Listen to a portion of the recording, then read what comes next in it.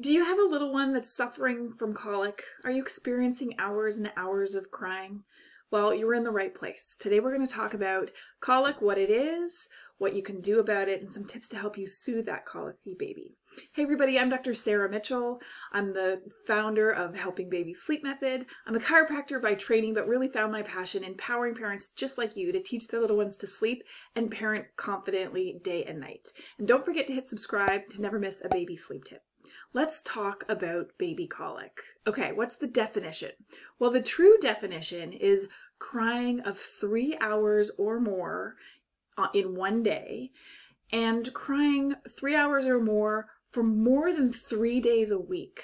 Can you imagine? I'm so sorry if that is you. That is just so stressful. And the research does actually show that it is a burden on families. It often is associated with a higher incidence of maternal depression, as well as an increased cessation, stopping of breastfeeding. So it is definitely a lot. Okay. What is the root cause of colic? The research shows that 10% of cases have a true organic cause. There is a root cause.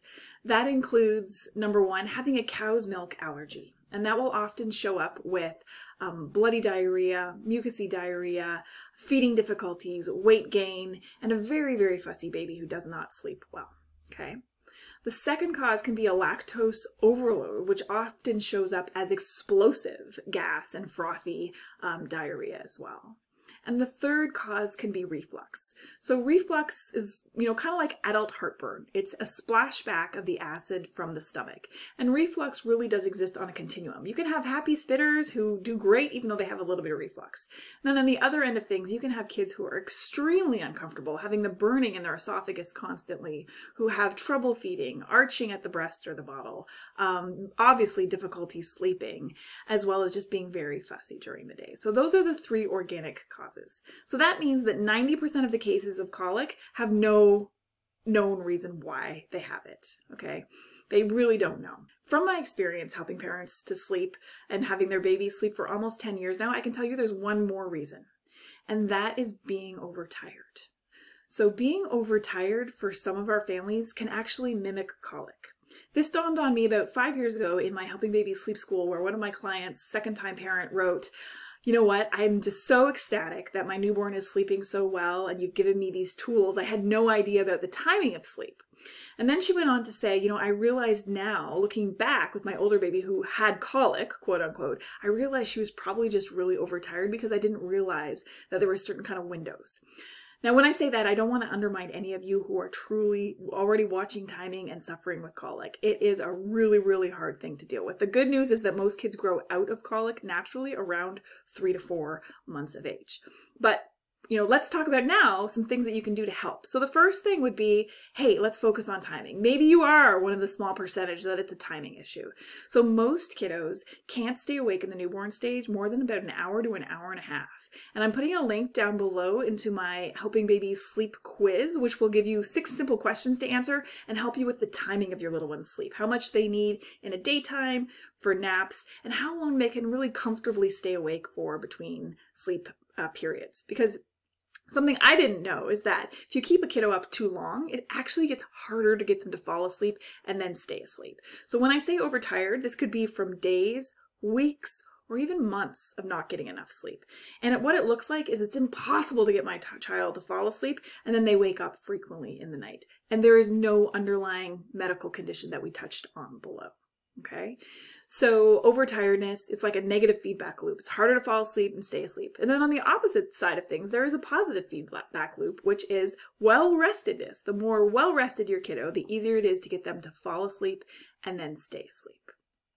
What else could you do to help your little one with colic sleep better? Well, you know, I would be keeping feeding away from sleeping because if the underlying etiology is something to do with their GI system, reflux, or um, a sensitive GI tract, I don't want to be packing them with food before I lie them down for a nap or nighttime sleep. I want to keep feeding away from sleeping. Even keeping them upright after the feed can help, um, you know, minimize or help the digestion of that. The other thing you can do is keeping them close to you. So you know, I work with a lot of parents in the newborn stage that say my baby will only sleep when held. Okay, we have another video on that that you can go watch. But the idea is that you are their soother, their pacifier, that things that helps them feel safe and secure.